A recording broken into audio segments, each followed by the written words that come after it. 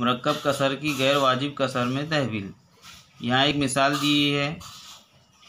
तीन अदद से ही दो बटे पाँच बराबर तीन जमा दो बटे पाँच। अब इसको हम बटे वाली सूरत में लिखेंगे।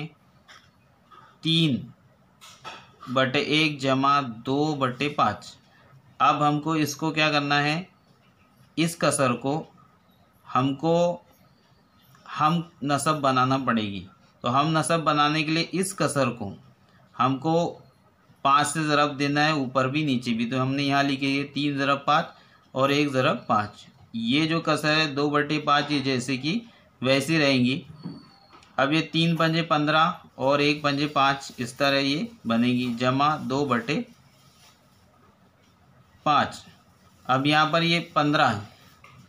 पंद्रह, अब इस, ये हम नसब कसर बनने की वजह से नसब जो है, पाँच आएगा और ये पंद्रह जमा दो। अब यहाँ पर पंद्रह जमा दो बटे पाँच है तो अब पंद्रह और दो, सत्रह सत्रह बटे पाँच। इस तरह ये गैर वाजिब कसर बन गई। हम एक और मिसाल समझेंगे यहाँ पर।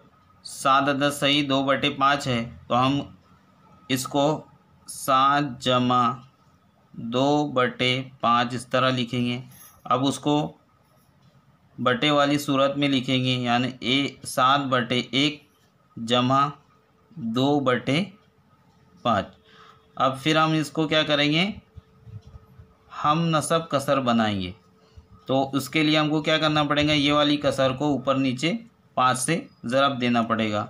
तो हम यहाँ लिखेंगे यहाँ पर सात ज़रब पाँच बटे में एक ज़रब पाँच और जमा दो बटे पाँच ये जैसा का वैसा रहेगा।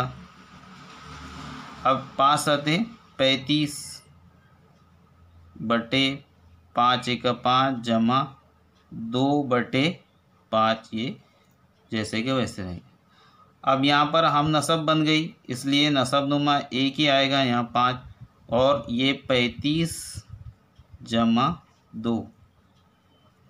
पैंतीस और दो सैंतीस होते हैं। सैंतीस बटे पाँच। इस तरह ये गैर वाजिब कसर बन गई।